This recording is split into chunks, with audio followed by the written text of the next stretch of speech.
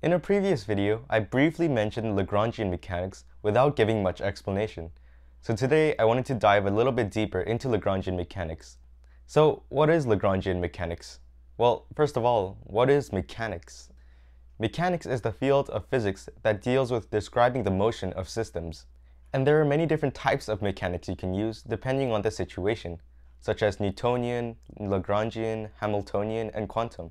You're probably most familiar with Newtonian physics, which mainly deals with forces and has a sort of cause and effect approach to solving problems. If you know where an object is and the forces acting upon it at that time, then you can predict its motion. Newtonian mechanics is good for representing simple systems in terms of their most basic elements. But with more complex systems, like a double pendulum, it can be harder to derive the equations of motion. That's where Lagrangian mechanics can be useful. Unlike Newtonian mechanics, Lagrangian mechanics aims to describe an object's motion by considering the whole path at once.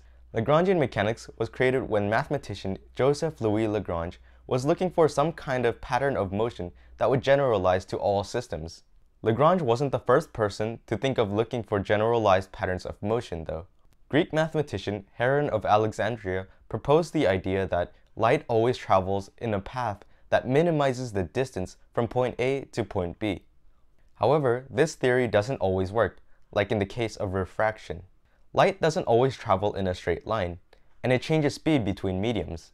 During the 1600s, Fermat built upon this idea and proposed that maybe light doesn't travel on the path that minimizes distance, but rather time.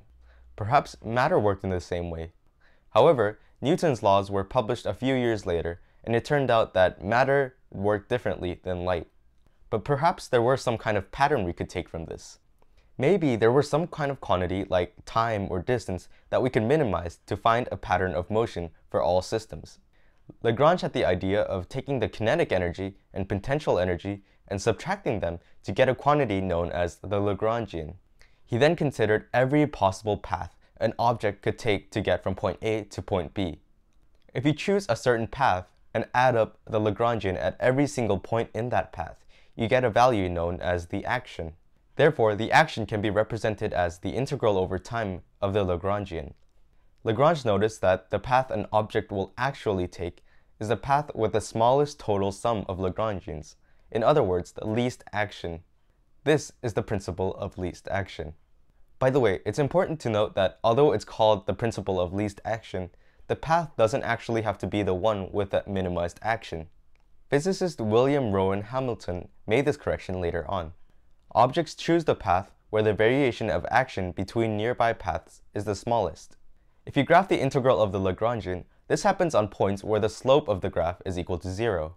A graph can have a slope of zero at three points, a minimum, a maximum, and saddle points, which are all known as stationary points.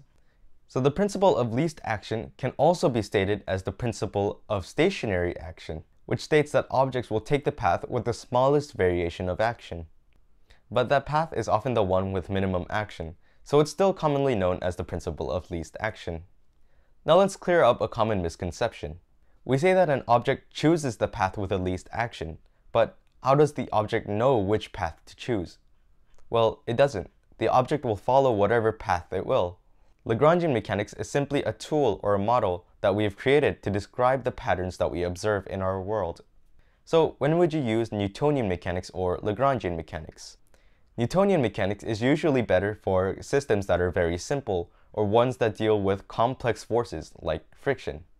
Lagrangian mechanics is generally better for more complex systems where it can be hard to keep track of all the different forces. Because it's also more versatile, it can be applied in different fields outside of classical mechanics like general relativity and quantum mechanics. So in the end, Lagrangian mechanics is just another way of describing the motion of systems, relying on energy and visualizing the path as a whole.